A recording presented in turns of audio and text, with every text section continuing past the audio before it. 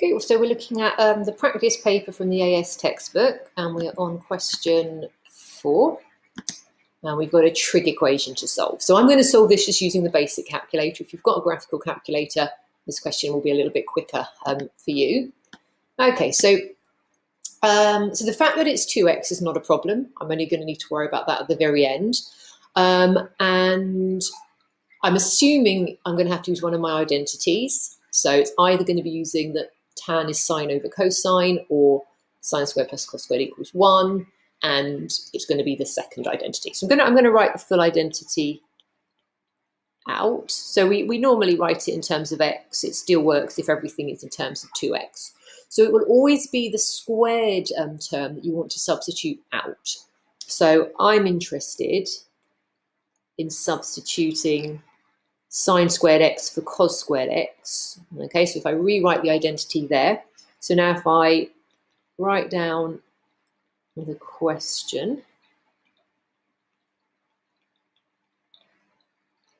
okay, so so I've got to be careful not to forget about that coefficient of 2.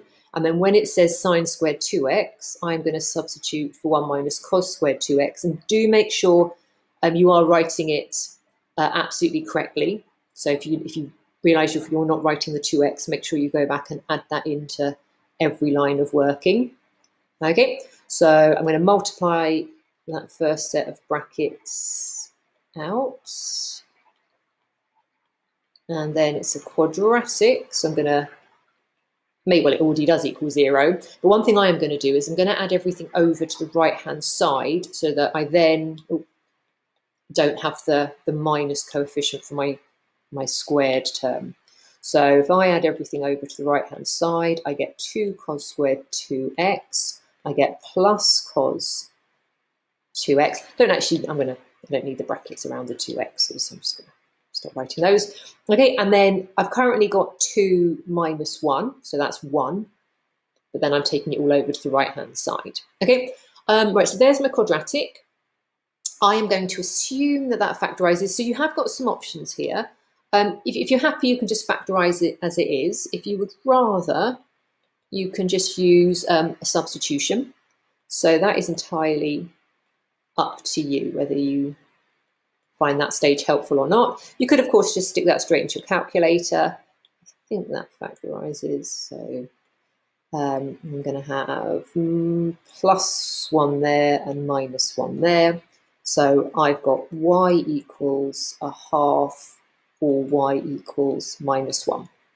Okay, but you might, and you might not have used the substitution y, you might just have um, factorized it in terms of cos, and that's fine. But either way, you're going to end up with cos 2x equals a half, or cos 2x equals minus 1. So they are both valid. So I'm going to get solutions from, from both of those. If we go back to the question, yeah, it just says find all the solutions. So I'm clearly expecting more than one um, so I'm potentially um, going to get up to four. If I think the domain, yeah, so they're only asking me to go from zero to 180 degrees.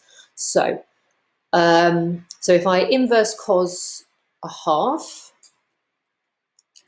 okay, I get 60 degrees. Now, the original um, domain for the answers was between 0 and 180. As I'm actually finding values of 2x, I can double each of those limits. So at this stage, I want to go up to 360. Um, it's cos x, so my second solution is going to be 360 minus my principal value, so 300, and then I'm going to halve each of those. And my next solution up would be 60 plus 360, so 420, which would be too large. Um, let's get my other solutions as well. So, um, so if I look at the minus one, I get cos 2x is 180.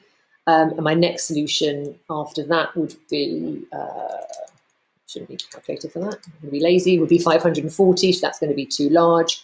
So if I halve each of those to get my values of x. Those, let's just double check, hopefully, are the only three solutions. Brilliant.